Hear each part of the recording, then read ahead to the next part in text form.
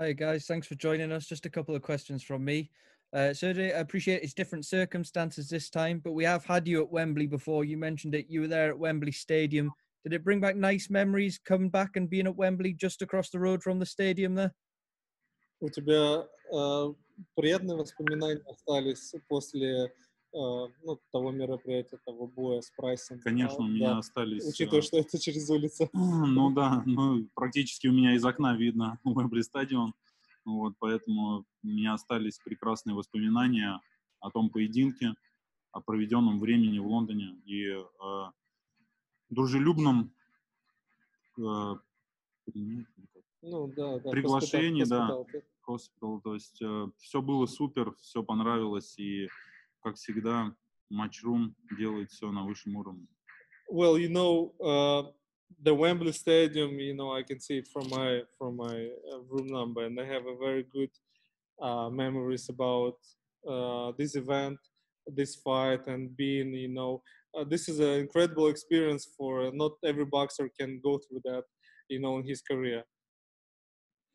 No, I just wanted to go back to the last time we saw you in the ring there against Michael Hunter. Went the 12 rounds with Michael Hunter. I was just wondering if you could tell us a bit how much you learned from that fight. А, Можешь ли ты рассказать, что извлек ли ты какой-то урок после боя и поражения Майкла Хантера? Да, безусловно, каждый боксер встречается в своей профессиональной карьере с какими-то а, моментами. Кто-то встречается так, что уже потом он не может э, дальше продолжать свою карьеру. Я вот встретил на своем пути Майкла Хантера. Э, Я в этом поединке, э, поединке вышел не победителем, э, на что мне было время задуматься, переосмыслить свою подготовку, свой тренировочный лагерь, ну и вообще жизнь в целом. Поэтому я а, в обновленном виде возвращаюсь на ринг.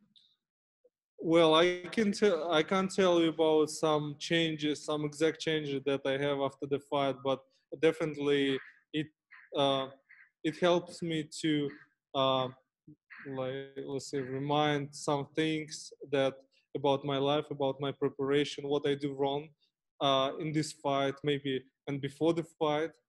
So after that, I you know go back updated as a fighter.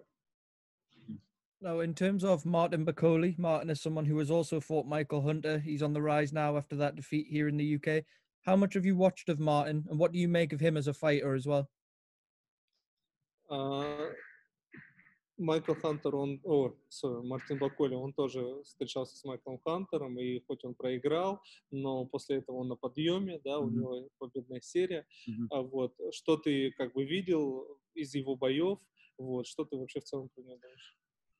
Да я о нем ничего не думаю в целом, потому что то, что я отрабатывал в своем трениру- тренировочном, а, тренировочном лагере, своей командой, а, это все произойдет в ринге. И, а то, что у него победная серия, ну, это уже сбитые летчики. Тем более там такие имена, когда я только там во втором, в третьем бою встречался с этими людьми, дрался. Так что, ну, хороший боксер Мартин Баколи. Посмотрим, насколько он будет хорош со мной.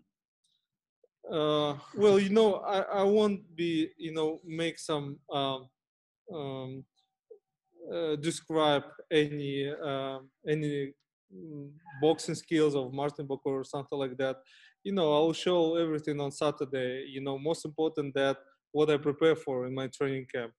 Well, yes, Martin, he has a, a, a streak win. You know, after the Michael Hunter, but. Uh, no one wasn't you know too too big level as me so for sure for myself and for himself it will be a big testing after michael hunter as well And final one from me, Sergey. Thank you for your time. Uh, main event, huge fight. Anthony Joshua Kubrat Pulev on the same bill as yourself, obviously. I was just wondering if you could give us a, a quick prediction for the fight. How do you see it playing out? Э, если ты можешь небольшой ну как бы Интервью на не не не не, не, не, небольшой Прогноз. прогноз, на бой Ну, Пулев Джоша Могу сказать одно, то, что я работал с одним, с Пулевым, с Джошуа боксировал на любительском ринге. А, Скажу, что у них манеры немножко ведения поединка ну, одинаковые, да. То, что Джошуа будет боксировать дома, конечно, на его стороне будет публика. Но и также я скажу, что Кубрат очень хороший боксер э, с великолепной любительской школы. И, ну, посмотрим. Я даю свой прогноз 60 на 40, что выиграет Энтони.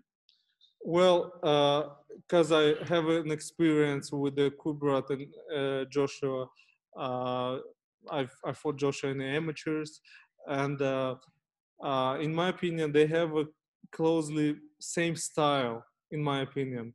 But of course, because of you know uh, Uh, being in UK, it's like 60-40 to uh, in favor of Joshua. Uh, you know, but anyway, Kubrat can can make him a big problems during the fight. Okay, that's all from me. Thank you very much and good luck.